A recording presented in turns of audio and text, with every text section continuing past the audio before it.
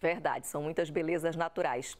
Agora, olha só, gente, a gente vai mudar de assunto para falar de um, uma coisa que eu vou dizer uma coisa para vocês. Eu sou péssima nisso, que é organização.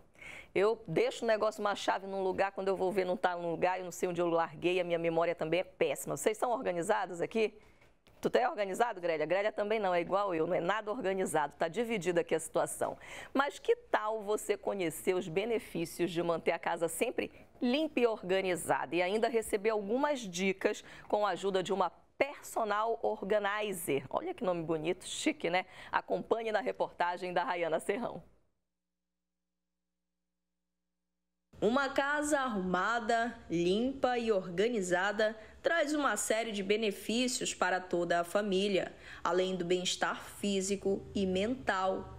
O Lucas leva uma rotina acelerada e, em meio aos compromissos, é difícil lidar com a organização da casa. O empresário buscou a ajuda de uma profissional e ficou surpreso com a transformação do apartamento, principalmente no guarda-roupa. Faz toda a diferença. Então Agora eu consigo ter uma visão rápida aqui, apesar de que a maioria das minhas roupas são pretas, mas só que eu consigo selecionar qual camisa eu quero para aquele dia específico, para uma ocasião especial, como eu tenho que ter reuniões e às vezes trabalho ou vou para um para um encontro mais casual, então eu consigo facilmente aqui identificar o tipo de peça que eu quero para montar o meu look. Especialista no assunto, a Tami garante que é possível manter a organização na casa. A triagem é o primeiro passo para um ambiente mais leve e agradável. Tirar aquilo que não serve mais. A gente sempre tem várias coisas acumuladas em casa que não serve para nada. Caneta que não funciona, brindezinho de evento que a gente foi, e de pouquinho em pouquinho, quando a gente vê isso, toma conta de um grande espaço que ocupa espaço de coisas realmente importantes.